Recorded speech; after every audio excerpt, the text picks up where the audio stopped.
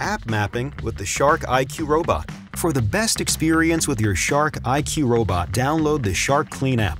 Because the Shark IQ Robot is smart enough to map your home and remember which room is which, you can use the app to choose where you want your robot to clean right now. Depending on your home layout, your robot may take a few runs to build a complete map. Let the robot explore as much of your home as possible. Once your robot has mapped your home, you can name your rooms.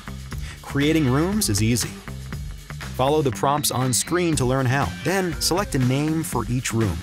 And just like that, your map is ready to be used. Return to the map at any point to edit your rooms.